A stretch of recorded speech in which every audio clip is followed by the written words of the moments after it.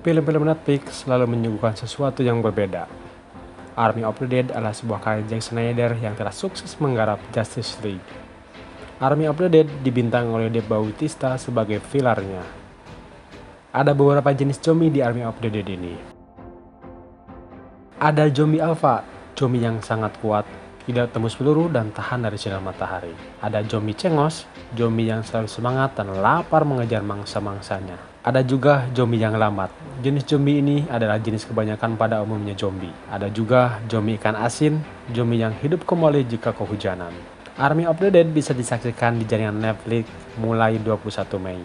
Sebelum kita menuju alur cerita Army of the Dead, silahkan klik subscribe, like, komen, dan juga share. Agar supaya channel ini tetap berkembang dan tidak mati seperti zombie. Oke, langsung aja kita simak alur cerita filmnya. Kamera, roll, and action.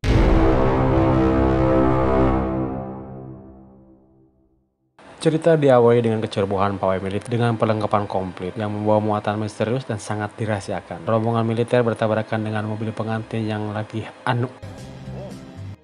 Boom! Mereka bertabrakan sehingga muatan terguling. Seorang komandan menghubungi markas, tetapi markas menyarankan untuk segera meninggalkan muatan. Tapi para tentara diliputi rasa penasaran dan malah mendekati muatan. Sayang, sebelum mereka mematuhi perintah markas, sang muatan memangsa pasukan satu persatu. Yap, muatan tersebut adalah zombie ganas yang kebal dari berbagai macam peluru. Dari sekian pasukan tersisa dua orang dan tak luput mereka pun dimamam si zombie. Dan dalam hitungan detik mereka bangkit menjadi zombie. Sang presiden zombie bangkit dan bersiap menginovasi Vegas. Dan malam itu juga Vegas seperti kiamat, semua manusia berubah menjadi zombie. Tampak di antara zombie beberapa orang mencoba membebaskan sisa manusia di Vegas. Dan dikarenakan neraka Vegas terkombinasi terlalu luas, pemerintah menutup kawasan Vegas dengan benteng kontainer. Dikarenakan tidak kunjung pulih, pemerintah berencana akan meledakkan Vegas dengan nuklir. Sementara di sebuah restoran fast food, tampak sang koki Scott Ward didatangi seorang pengusaha tanah kasan.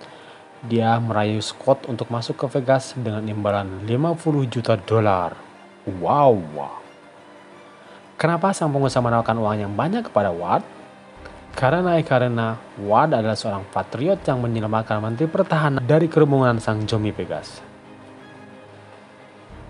Walaupun Ward tidak bisa menyelamatkan sang istri cinta dari gigitan sang zombie, istri Ward dikarantina di rumahnya. Karena tidak kunjung sembuh, dengan terpaksa, sungguh Wad menusukkan belati di kepala sang istri. Ya, mirip-mirip kuntilanak lah ditusuk paku di kepala. Ternyata tindakan Wad dibenci anaknya Kokom. Wad membunuh istrinya di depan anaknya Kokom. Dan Kokom memutuskan untuk menjadi sukarelawan di kamp karantina. Walaupun Kokom selalu bertegang dengan para penjaga karantina, tapi Kokom memang seorang wanita yang muda yang tangguh. Kembali ke Watt, tanpa berpikir panjang untuk 50 juta dolar, dia mulai mendatangi teman-temannya dan membuat tim 50 juta dolar. Tim tersebut adalah Maria, seorang mekanik wanita yang tangguh, si Akang tukang gergaji mesin, dan Veter sang pilot heli. Ada juga Agusman, seorang yang mirip-mirip youtuber pencari subrek dengan konten gilanya. Dan terakhir tukang kunci seorang keturunan Jerman. Besoknya, tim bertemu dengan sang pengusaha Tanakasan dan merapatkan rencananya. Tim masuk ke arena Vegas dengan bantuan Kokom yang punya akses di sekitaran neraka Jomi Vegas. Lalu tim dipertemukan dengan Lily sang coyote atau kami menyebutnya Caruh. Lily ini adalah seorang petunjuk jalan menuju neraka Vegas. Dikarenakan ada warga yang masuk tanpa izin, Koko memaksa Ward untuk bergabung bersama tim masuk ke dalam Vegas. Jelas, Ward menentangnya. Namun karena ancaman Kokom, akhirnya Ward mengabulkannya. Dikarenakan merasa kurang kru, Lily merekrut sang penjaga. Tim sudah masuk ke dalam Vegas, tampak tumpukan zombie yang mengering seperti ikan asin. Katanya mereka hidup kembali jika hujan turun. Tentunya mereka menjadi zombie kembali, bukan menjadi ikan asin. Tiba-tiba tim terhenti karena ada sebuah penampakan dari Valentine, seekor macan buruk yang ternyata macannya zombie. Lily merayu sang penjaga dan menembaknya. Ternyata Lily menjadikan sang penjaga sebagai tumbal. Tumbal untuk sang alfa, raja dan ratu para zombie. Zombie yang kebal terhadap matahari. Dan sang zombie menerima persembahan Lily. Mereka membawa penjaga untuk mengawadang atau makan siang bersama teman-temannya. Tim mulai bergerak dan masuk, ternyata di dalam hotel banyak zombie yang tertidur. Tim tidak boleh menyentuh dan menyinari matanya. Ternyata sang pengawal sengaja menyesatkan salah seorang tim. Untung dia sigap membunuh zombie satu persatu tapi zombie terakhir yang dia bunuh justru membuat kegaduhan dan membangunkan semua zombie di ruangan tersebut. Pertempuran hidup dan mati tak terelakkan. Rupanya sang pengawal mengkhianati tim. Dan Chamber, temannya si Agusman, akhirnya ditekebung zombie. Tapi sebelum dia disantap zombie, Agusman menembaknya. Terjadi ledakan dahsyat dan menghancurkan zombie. Tim sudah masuk ke hotel tujuan dan mulai menembaki satu persatu zombie. Mereka membagi tugasnya masing-masing. Ward beserta Mako menyiapkan genset. Tukang kunci bersama Agusman dan si tukang gergaji menjebol pintu.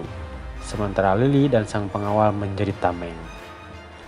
Ketika standby, Lily dan sang pengawal mereka diserang sang Alpha.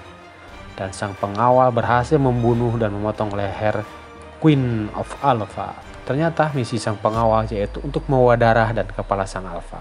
Menurut berita di TV, ternyata pengeboman Vegas dimajukan lebih awal tentunya membuat tim harus bekerja lebih cepat dan berpacu dengan waktu. Tim mulai berkabung kembali di depan super berangkas.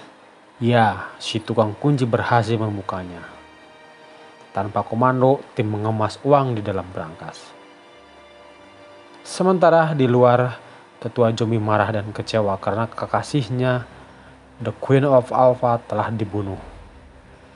Tetua Jomi beserta pasukannya bersiap menyerang ke dalam hotel.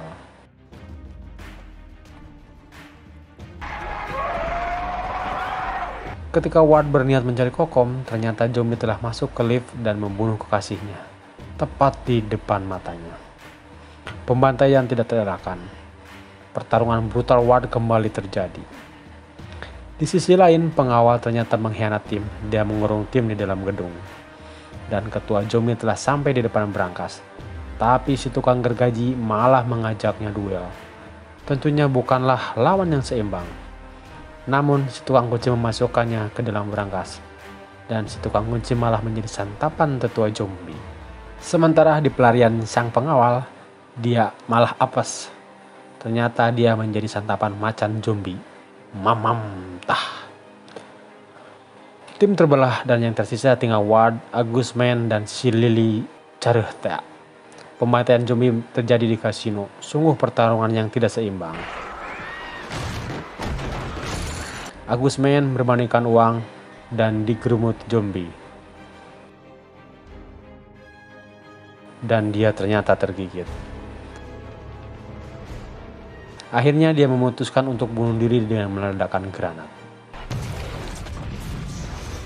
Lily dan Ward sampai di atas menuju heli. Tapi sang tetua zombie terus mengejar. Lily mengeluarkan kepala sang ratu zombie agar zombie tak menyerang Ward. Ward berhasil kabur bersama Harry.